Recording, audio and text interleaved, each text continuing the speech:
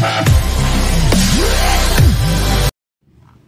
hello guys, what's up sa inyo? And for uh, this video, so of course, ano, pag-usapan natin ng ano, markets and sa ano, sa big data. So sa panic index to ng ano, global market at saka ng gate ayo. So combination to guys. So makikita din tayo ng ano, global market, anong mga posisyon nila, ano na ba ang marami bang nagbabay or maraming nagsisell, ganyan. So ang panic index ng ano guys ng gate ayo is fear.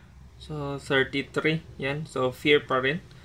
Um, uh, index ng ano ng market dito sa gate ayo yan. So mayroon itong liquidation data. Yan. Sa so, contract positions. Sa so, itong gray positioning black orders so dito lahat. So futures may naka short ay comparison naka long so mas ano mataas yung naka short diba? Sa spot ah sa futures to. So makita niyo naman sa ano COT report. Sa mga futures ano yan. So maraming naka shorts diyan compare sa naka long yan. So punta tayo sa ano. So ito lang long short ratio. So ito yung global data. So by 24 hours. So mas marami yung naka long 50.55% So, yan. So, 1 hour. So, ito yung 1 hour na ano nila. Calculation. So, marami yung naka-long din. So, 54% compared to 45%. And dito sa mga block trades, yung mga, mga ano siguro to. Uh, malaking trades. So, another ano to.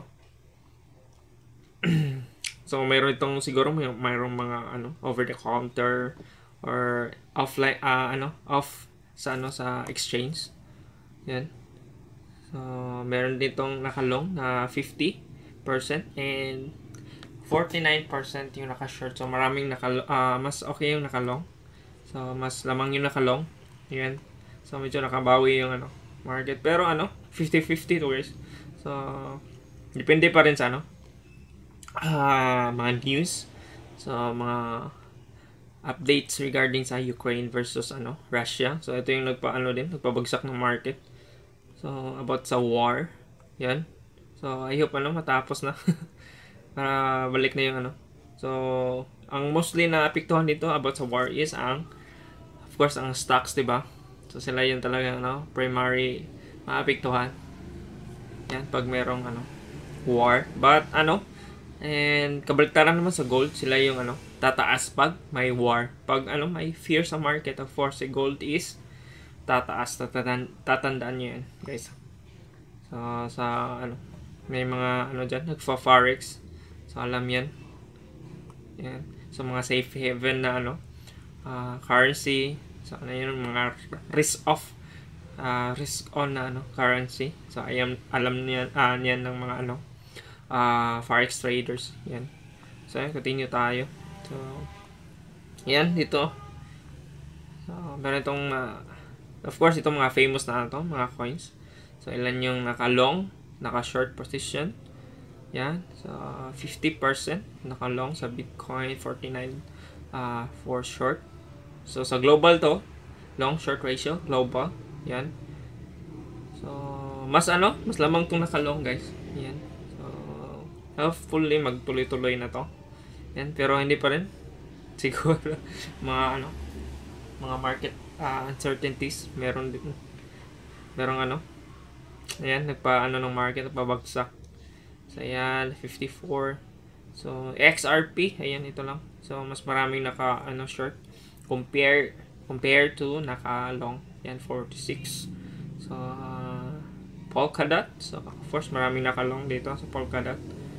Yan. So, Bitcoin, ADA, yan. So, mostly, siguro, yung mga malalaking coins is, ano, mostly, uh, nakalong naman. So, but ano, hindi lang masyadong uh, mataas uh, with uh, comparison sa short, di ba?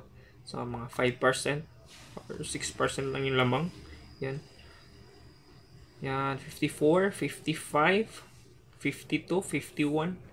So, good to know, guys, di ba? So, medyo, ano, mas ah, maraming nakalo compared to naka-short. Pero anytime, pwede man naman ito mag-change. Depende sa ano guys, sa takbo ng market natin. So, yun lang naman guys.